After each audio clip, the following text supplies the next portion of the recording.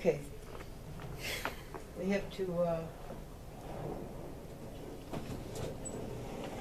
listen for these people.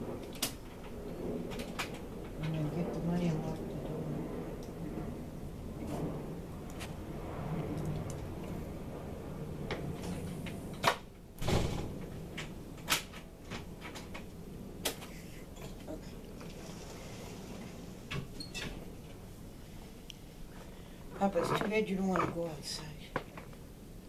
You're sleeping?